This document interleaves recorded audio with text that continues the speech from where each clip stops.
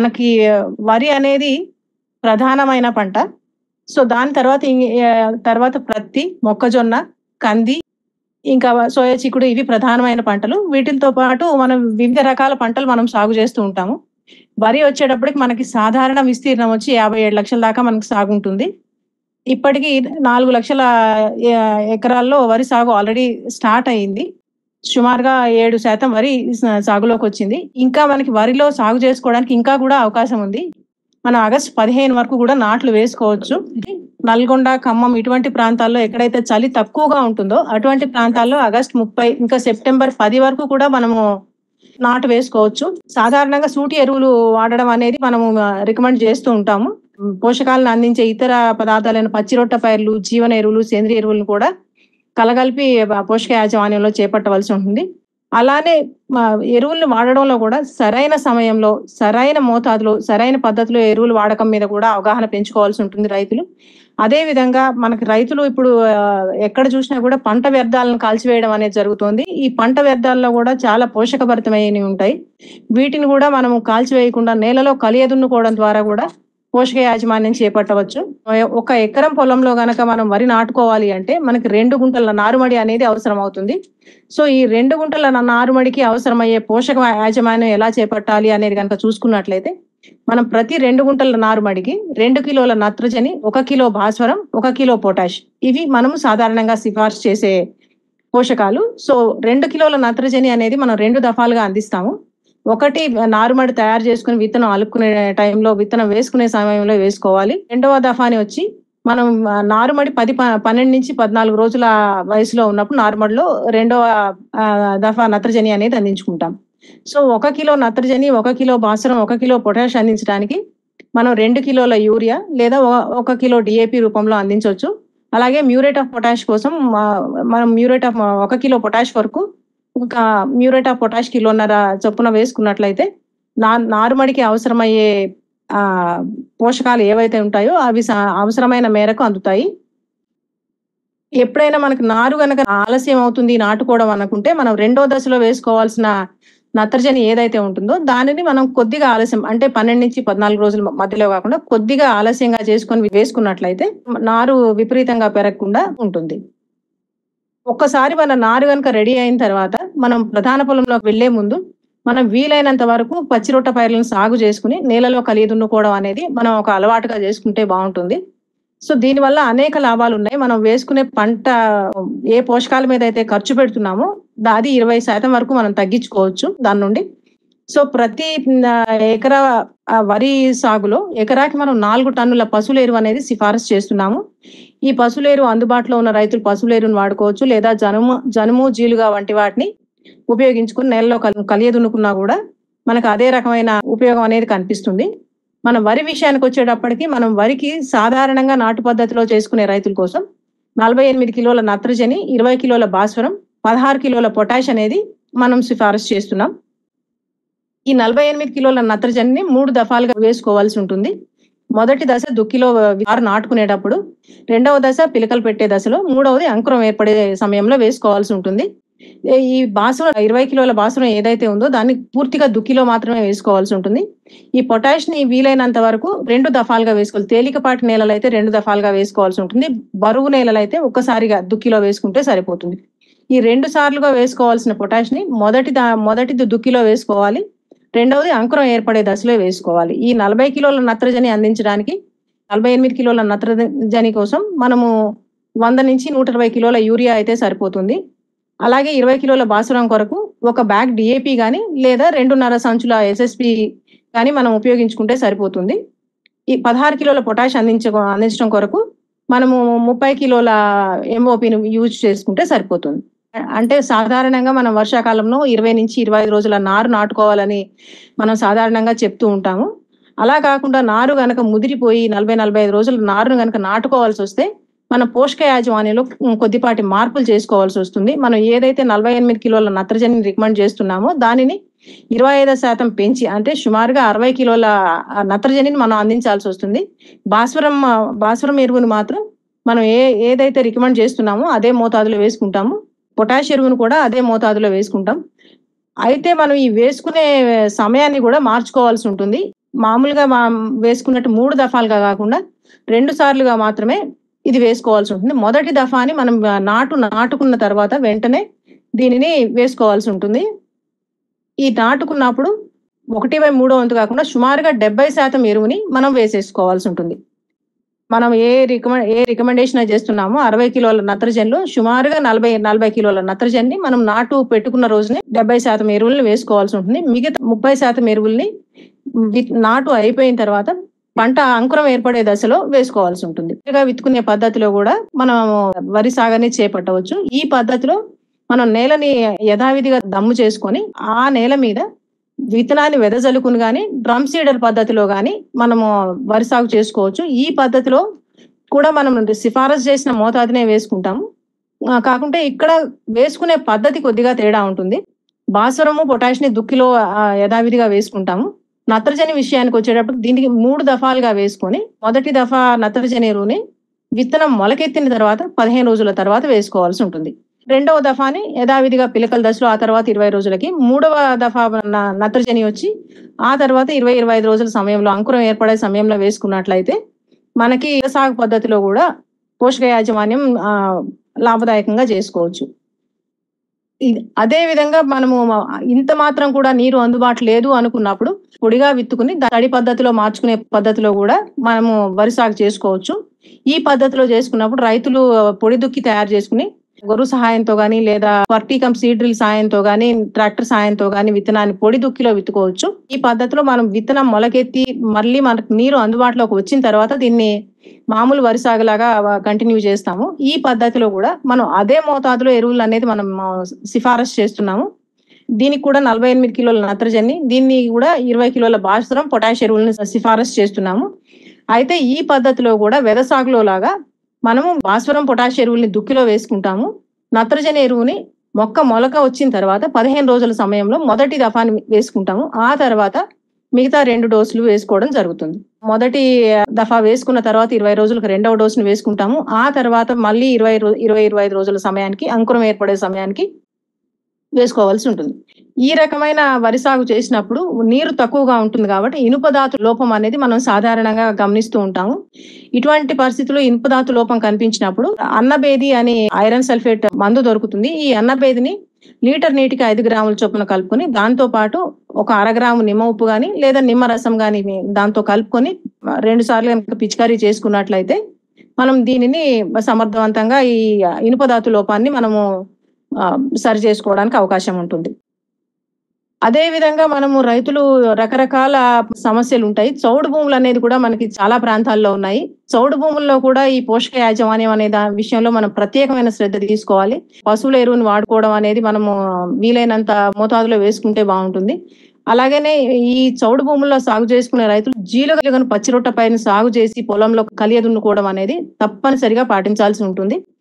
ఇది చౌడు భూముల్లో వరి సాగు చేసుకున్నప్పుడు నర్సరీ నారుమడి స్థాయి నుంచి కూడా ప్రత్యేకమైన శ్రద్ధ తీసుకోవాల్సి ఉంటుంది. బాసురం మోతాదుని రెట్టింపు చేసి వేసుకోవాల్సి ఉంటుంది. మామూలుగా రికమెండ్ చేసే ఒక కిలో బాసురం కాకుండా రెండు కిలోల బాసురం అనేది మనము వేసుకోవాల్సి ఉంటుంది. చౌడు భూముల్లో వరి సాగు చేసుకునే రైతులు. అలాగే చౌడు భూముల్లో జింక్ డెఫిషియన్సీ అనేది చాలా సాధారణంగా కనిపిస్తూ ఉంటుంది. జింక్ అందుబాటు అనేది కొంచెం సమస్యగా ఉంటుంది. సో ఒక కిలో జింక్ సల్ఫేట్ కూడా నారుమడి స్థాయిలోనే మనం తప్పనిసరిగా రైతులు వేసుకోవడం అనేది అలవాటు చేసుకోవాలి. ప్రధాన పొలంకి వచ్చేటప్పటికి మనం సిఫారసు చేసే మోతాదులో ఎటువంటి మార్పు లేనప్పటికీ అదనంగా జింక్ సల్ఫేట్ అనేది తప్పనిసరిగా దుక్కిలో వేసుకోవడం అనేది చౌడు పొలాల్లో సాధారణంగా రైతులకి మనము సిఫారసు చేస్తూ ఉంటాం. అలాగే ఈ చౌడు భూముల్ని పరీక్ష చేయించుకొని భూసార పరీక్ష ఆధారంగా మనకి రికమెండ్ చేసే జిప్సం అనేది కూడా నేలలో మనం వేసుకోవాల్సి ఉంటుంది. జిప్సం కూడా మన మనకుండే చౌడు మోతాదుని బట్టి జిప్సం అనేది సిఫారసు చేయడం జరుగుతుంది. దాన్ని కూడా మనము పొలంలో వేసుకోవాల్సి ఉంటుంది.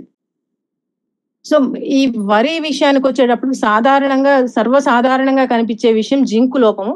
సో ఎక్కడెక్కడైతే మనకి జింకు లోపం దాదాపుగా మనకి యాభై శాతం పైగా నేలలో ఈ జింకు లోపం అనేది మనకి మన రాష్ట్రంలో కనిపిస్తుంది. సో ఎక్కడైతే ఈ జింకు లోపం అనేది మనం రైతులు గమనిస్తున్నారో ప్రతి మూడు పంటలకి ఒకసారి నేలకి జింక్ సల్ఫేట్ అనేది వేసుకోవడం అనేది రైతులు ప్రతి రబీ పంటకు జింక్ సల్ఫేట్ వేసుకోవడం అనేది ఒక అలవాటుగా చేసుకుంటే జింక్ లోపాన్ని మనం సమర్థవంతంగా ఎదుర్కోవచ్చు. ఈ జింక్ లోపాన్ని సరి చేసుకోవడానికి మనకి మార్కెట్లో సాధారణంగా జింక్ సల్ఫేట్ అలాగే చిలామిన్ జింక్ అనేవి రెండు రకాల మందులు అందుబాటులో ఉంటాయి. మనకు పంట పైన కనుక లోపం కనిపించినప్పుడు మనము లీటర్ నీటికి రెండు గ్రాముల జింక్ను కనుక వారం రోజుల వ్యవధిలో రెండు సార్లుగా పిచికారీ చేసుకున్నట్టయితే లోపాన్ని సరి చేసుకోవచ్చు. అలాగే చిలామిన్ జింక్ విషయానికి వస్తే ఇది ఒక గ్రాము ఒక లీటర్ నీటికి మనం సిఫారసు చేసే మోతాదు కానీ దీని ఖరీదు ఎక్కువగా ఉంటుంది కాబట్టి ఎక్కడైతే చౌడు నేలల్లో ఉన్నాయో అటువంటి ప్రాంతాల్లో మాత్రమే మేము ఈ చిలామిన్ జింక్ వాడుకుంటే బాగుంటుంది. మామూలు జింక్ మనకి ముప్పై రూపాయల ధరలో కిలోలో లభిస్తుంటే ఇది రెండు వందల యాభై రూపాయల ధర ఉంటుంది. సో చౌడు నేలలు ఉన్నప్పుడు మాత్రమే చిలామిన్ జింక్ వాటివి రైతులు కొనుగోలు చేసుకుంటే బాగుంటుంది. అలాగే మనకు వరిలో మరో ముఖ్యమైన సమస్య అక్కడక్కడ గుంపులు గుంపులుగా చనిపోతూ ఉంటుంది తొలి దశలో. ఇది దీన్ని రైతులు రకరకాల పురుగులు తెగుళ్ళుగా అనుకొని వివిధ రకాల మందులు పిచికారీ చేస్తూ ఉంటారు. కానీ దీనికి ప్రధానమైన సమస్య మురుగునీరు నిలబడడం అలాగే రైతులు వాడే రకరకాల కాంప్లెక్స్ ఎరువుల వల్ల కూడా ఈ ఇలా జ- జరుగుతుంది. మీరు ఈ ప్రాంతంలో కనుక మొక్కల్ని బయటకు తీసి గమనించినట్లయితే ఈ వేర్లు నల్లగా అయిపోవడము బుడగలు బుడగలుగా అక్కడ రావడం అలా- అలాగే కుళ్ళిన కోడిగుడ్డు వాసన రావడం ఇటువంటివి మనం గమనించవచ్చు. సో ఎక్కడైతే రైతులు ఈ సల్ఫర్ గంధకం కలిగిన కాంప్లెక్స్ ఎరువులను ఉపయోగిస్తుంటారో లైక్ అంటే ఇరవై ఇరవై పదమూడు లేదా అమోనియం సల్ఫేట్ ఇటువంటి ఎరువులను ఉపయోగించే రైతు పొలాల్లో ఈ సమస్య చాలా ఎక్కువగా కనిపిస్తుంటుంది. సో ఇటువంటి సమస్యలు ఉన్నప్పుడు ఇటువంటి కాంప్లెక్స్ ఎరువుల జోలికి పోకుండా సూటి ఎరువులను ఉపయోగించుకుంటే ఈ సమస్యని ఎదుర్కోవచ్చు. అలాగనే ఎక్కడైతే సల్ఫైడ్ దుష్ప్రభావం కనిపిస్తుందో ఆ ప్రాంతాల్లో నీరు ఆరగట్టి వెంట్రుక మందం నెర రానిచ్చి మళ్ళీ నీరు పెట్టుకున్నట్టయితే ఈ సమస్యని సమర్థవంతంగా మనం ఎదుర్కోవచ్చు. దీనికి ఎటువంటి మందులు కొట్టాల్సిన అవసరం ఉండదు. సో వరి తర్వాత మనకి మరో ముఖ్యమైన ధాన్యపు జాతి పంట మొక్కజొన్న. ఈ మొక్కజొన్న అనేది చాలా ఎక్కువ పోషకాలు అవసరమయ్యే పంట. మన సిఫారసు వచ్చి ఎకరాకి పది టన్నుల పశువుల ఎరువు అనేది మనము సాధారణంగా రికమెండ్ చేస్తూ ఉంటాము. సో మనము నత్రజని భాసురం పొటాష్ రూపంలో చెప్పుకోవాలంటే ఎనభై కిలోల నత్రజని ఇరవై నాలుగు కిలోల భాసురం ఇరవై కిలోల పొటాష్ అనేది మనము ఈ పంటకు సిఫారసు చేస్తున్నాము. సో ఈ నత్రజని వచ్చేటప్పటికి మనం మూడు దఫాలుగా వేసుకోవాల్సి ఉంటుంది. మొక్క విత్తుకునేటప్పుడు అలాగే మళ్ళీ మొక్క మోకాలెత్తు దశలో ఉన్నప్పుడు జుట్టు వచ్చే సమయంలో. ఈ మూడు దశల్లో మనము నత్రజని ఎరువులను సిఫారసు చేస్తాము. బాసరం వచ్చి పూర్తిగా దుక్కిలోనే ఉపయోగించుకోవాల్సి ఉంటుంది. అలాగే పొటాష్ని రెండు సార్లుగా మనం వేసుకోవాల్సి ఉంటుంది. పొటాష్ మొదటిది దుక్కిలో వేసుకుంటాము. రెండోది పంట రిప్రొటెక్టివ్ స్టేజ్ అంటే జ- జుట్టు బయటకు వచ్చే సమయంలో మనము పొటాష్ అనేది వేసుకోవాల్సి ఉంటుంది. నత్రజని నత్రజని బాసరం పొటాష్ ఈ మూడు ఎరువుల్ని కూడా తప్పనిసరిగా మొక్కజొన్నకి రికమెండ్ చేసిన దశల్లో వేసుకోవాల్సి ఉంది ఎక్కడైతే డ్రిప్ ద్వారా మనము ఎరువుల్ని అందిస్తామో అక్కడ ఈ బాసురం ఎరువుని మనము దుక్కిలో వేసుకొని ఈ నత్రజని పొటాష్ ఎరువుల్ని సమభాగాలుగా చేసుకుని వారం రోజుల గ్యాప్ ఉండేటట్టు మనం సమాన వ్యవధి వచ్చేటట్టుగా మనము పంట యాభై ఐదు అరవై రోజుల వయసు వచ్చే వరకు ఇచ్చుకున్నట్లయితే మనకి పంటలో డ్రిప్ ద్వారా కూడా పోషక యాజమాన్యం చేసుకోవచ్చు. సాధారణంగా లభించే యూరియా పొటాష్ ఎరువులను కూడా మనం డ్రిప్ ద్వారా అంటే ఫర్టిగేషన్ ద్వారా ఇచ్చి కూడా మనం యాజమాన్యం చేయొచ్చు. అలాగే మొక్కజొన్నలో జింక్ లోపం అనేది కూడా మనం సాధారణంగా గమనిస్తూ ఉంటాం. తెల్ల మొగ్గ అంటారు రైతులు దీన్ని. సో మొత్తం మొక్క పసుపుగా మారిపోయి లోపం స్థాయి ఎక్కువగా ఉన్నప్పుడు తెల్లగా మారిపోతుంది. దీని సవరణకి జింక్ లోపం కనుక మనకి రెగ్యులర్గా అంటే ప్రతి సంవత్సరం కనిపిస్తున్నట్టయితే మనము పంట విత్తుకునేటప్పుడే ఎకరాకు ఇరవై కిలోల చొప్పున జింక్ సల్ఫేట్ నేలకు వేసుకోవాలి. లేదా మన పంట విత్తుకున్న తర్వాత జింక్ లోపం కనిపించినట్లయితే లీటర్కి రెండు గ్రాముల జింక్ సల్ఫేట్ కలిపి పిచికారీ చేసుకుని ఈ లోపాన్ని సవరించుకోవచ్చు. మన తెలంగాణలో అతి ముఖ్యమైన పంట ప్రతి దగ్గర దగ్గరగా యాభై లక్షల ఎకరాల్లో ఇది సాగులో ఉంటుంది. సో ఈ పత్తి పంటకు వచ్చేటప్పటికి ఇప్పుడు మనకి రకరకాల దశల్లో పత్తి పంట ఉంది. రెండు నుంచి నాలుగాకుల దశ నుంచి కొంచెం ముందుగా విత్తుకున్న పొలాల్లో దంతులు కొట్టుకునే స్థాయిలో ఉంది. సో ప్రతికి వచ్చి మనం నాలుగు టన్నుల పశువుల ఎరువు అనేది మనం రికమెండ్ చేస్తున్నాము. దాంతో పాటు దుక్కిలో ఇరవై నాలుగు కిలోల బాసురం అంటే సుమారుగా మూడు సంచుల ఎస్ఎస్పి లేదా ఒక బ్యాగ్ డిఏపి ద్వారా మనం బాసురం ఎరువును అందించుకోవచ్చు. దాంతో పాటు మనకి ప్రతికి నలభై ఎనిమిది కిలోల నత్రజని ఇరవై నాలుగు కిలోల పొటాష్ అనేది మనం సిఫారసు చేస్తున్నాం. ఈ నత్రజని పొటాష్ని నాలుగు దఫాలుగా విత్తుకున్న తర్వాత ఇరవై రోజుల నుంచి ప్రతి ఇరవై రోజులకి ఒకసారి మనకి పోషకాలను అందించే విధంగా ఇరవై ఐదు కిలోల యూరియా పది కిలోల పొటాష్ వచ్చే రకంగా మిక్స్ చేసుకొని కలుపుకొని దాన్ని మనం ప్రతి పంటకి ఎనభై రోజుల వయసు వచ్చే వరకు కనుక అందించుకున్నట్లయితే మనకి సరైన పోషక యాజమాన్యం చేసుకోవడానికి అవకాశం ఉంటుంది. ప్రత్తిలో సాధారణంగా మనకు కల్పించే పోషక లోపాలు జింక్ కనిపిస్తుంది. జింక్కి మిగతా పంటల్లో లాగానే దీనికి కూడా లీటర్కి రెండు గ్రాముల జింక్ సల్ఫేట్ కలిపి పిచికారీ చేసుకొని మనం దీన్ని సమర్థవంతంగా ఎదుర్కోవచ్చు. అలాగే ప్రతిలో మనకి ప్రత్యేకంగా కనిపించే పోషక లోపం మెగ్నీషియం లోపం. ఆకులు ఎర్రబడిపోయి ఈ నెల మాత్రమే పచ్చగా ఉండి ఈ లోపం సాధారణంగా నీళ్ళు ఎక్కువైనప్పుడు కూడా మెగ్నీషియం అందుబాటు అనేది తక్కువగా ఉంటుంది. సో ఈ మెగ్నీషియం లోపాన్ని కూడా మనము ఒక శాతం మెగ్నీషియం సల్ఫేట్ పిచికారీ చేసుకొని మనం సరి చేసుకోవచ్చు. అలాగే ప్రతిలో కాయ పగుళ్ళు ఇటువంటి సమస్యలు ఆకులు చిన్నగా అవడం వంటివి బొరాన్ లోపం వల్ల జరుగుతుంది. సో బొరాన్ కూడా మనం లీటర్ నీటికి ఒకటి పాయింట్ ఐదు గ్రాముల బొరాక్స్ను పిచికారీ చేసుకొని బొరాక్స్ స్ప్రే చేసుకొని మనము ఈ బొరాన్ లోపాన్ని సరి చేసుకోవచ్చు. ఈ వరి మొక్కజొన్న ప్రతి తర్వాత ఎక్కువ విస్తీర్ణంలో సాగయ్యే పంట కంది. సో ఈ అతి తక్కువ ఎరువులను అందించి మనం మంచి లాభదాయకమైన పంటను తీసుకోవచ్చు. ఎకరాకు రెండు టన్నుల పశువుల ఎరువు అనేది మనం సాధారణంగా సిఫారసు చేస్తుంటాము. కందిలో అధిక దిగుబడులు రావడానికి ఈ రైజోబియం కల్చర్ ద్వారా కందిని విత్తుకునేటప్పుడే విత్తన శుద్ధి చేసి మనం విత్తుకున్నట్లయితే ఇది నేల నుంచి కూడా నత్రజని స్థిరీకరింపజేసుకొని నేల నుంచి కూడా నత్రజని గ్రహిస్తుంది.